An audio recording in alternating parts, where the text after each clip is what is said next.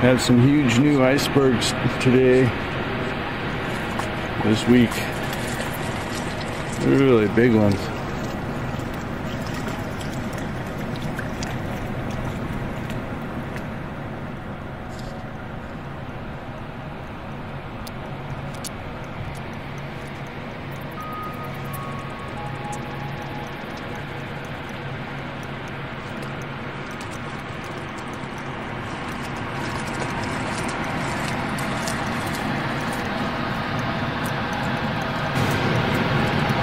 Look at that thing. That's huge. I'll bet it's at least 150 feet tall above the water. Maybe 200. It's giant. Wild.